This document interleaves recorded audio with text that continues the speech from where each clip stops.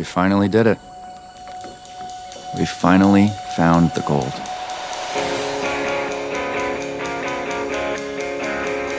That's where the story should have ended. But really, it was just the beginning. Nothing to lose? Now we got everything to lose this time.